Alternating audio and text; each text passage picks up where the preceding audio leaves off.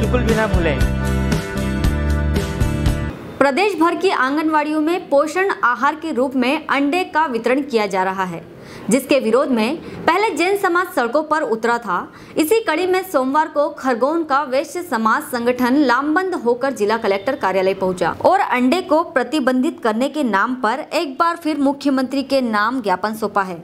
इस दौरान समाज के अध्यक्ष कन्हैया लाल महाजन ने मीडिया के माध्यम से मुख्यमंत्री कमलनाथ से दरख्वास्त की है कि अंडे के अलावा और भी कई टानिक हैं। जिनसे बच्चों की पौष्टिकता को बढ़ाया जा सकता है। बहरहाल वैश्य समाज ने आंगनवाड़ी केंद्रों पर पौष्टिक आहार के रूप में परोसे जा रहे अंडे पर प्रतिबंध लगाने के नाम पर ज्ञापन सौंपा है। खरगोन से अजय तिवारी की रिपोर्ट।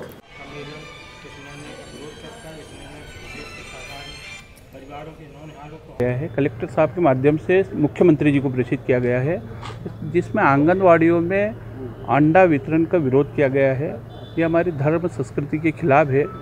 इसलिए और बच्चों पर यदि बच्चों को पोषित आहार देना है तो उसके दूसरे भी विकल्प है, शाकाहारी विकल्प।